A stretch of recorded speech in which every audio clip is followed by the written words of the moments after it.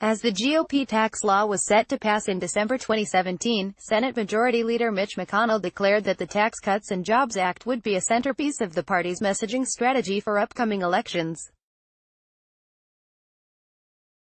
If we can't sell this to the American people, we ought to go into another line of work, McConnell said. They might want to start looking around. As the midterm election approach, economists and policy analysts say the tax law has become a political dud. Perhaps the most prominent evidence, President Donald Trump's stunning promise of a new 10% tax cut for the middle class. Trump said last weekend that Republicans would pass a tax cut aimed directly at the middle class before the midterms. Since then, Trump and congressional Republicans leaders have backtracked on both the time frame and the scope of the cut, but Chris Krueger, a policy analyst for Cowen Washington Research Group, said the implicit message is clear. It's a pretty clear indication that the GOP's tax bill is not paying the dividends that is promised, quite the opposite in fact, Krueger told Business Insider. Seems that only Democrats are really talking about it, and all in a negative fashion. The TCJA does not poll well. Even Republican voters think that the bill mostly benefits wealthier Americans and corporations. Republican candidates and political action groups have largely declined to employ the bill in campaign ads as a tool to rally voters. Greg Valliere, chief global strategist at Horizon Investments, similar, said that the new proposal was a clear admission by Trump that the TCJA has failed politically. It's not likely any new tax cut will become law while Trump's proposal may serve as an admission of political failure. The next question becomes just how seriously to take the promised second round of cuts. Short answer, not seriously. Congress is out of session until after the midterms.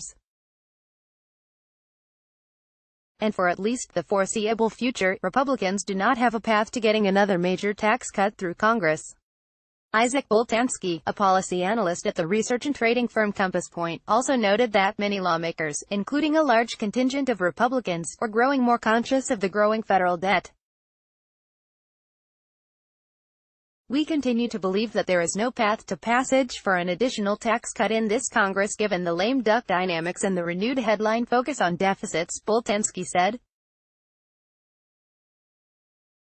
While the GOP had little problem overlooking the TCJA's $1.5 trillion price tag, adding another lump of debt on top of the previous round would likely give GOP deficit hawks heartburn.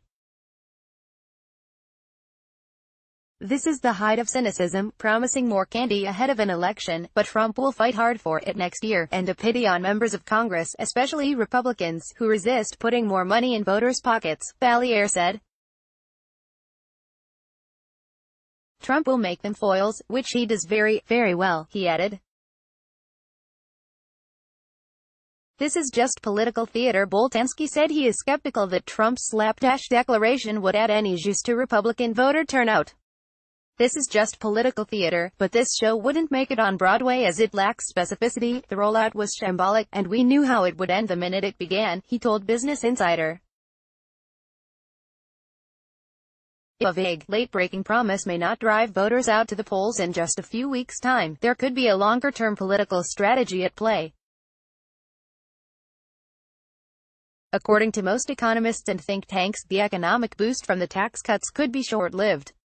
So another round of tax cuts enacted in 2019 could help extend the sugar high growth through a 2020 re-election campaign for Trump. Trump must sense that the huge fiscal stimulus this year will fade by late 2019, and he wants a roaring economy heading into the presidential election, Valliere suggested.